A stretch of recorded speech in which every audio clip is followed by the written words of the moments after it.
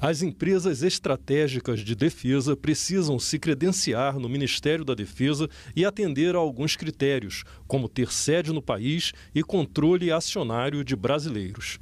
Elas recebem tratamento diferenciado para ganharem escala com o estímulo visando a exportação, além de garantir vínculos das empresas com os atendimentos das necessidades das Forças Armadas.